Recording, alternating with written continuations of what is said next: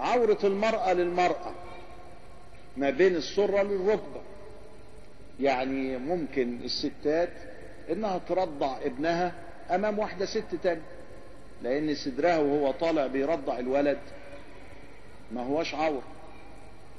فالست مع الست من السرة إلى الركبة.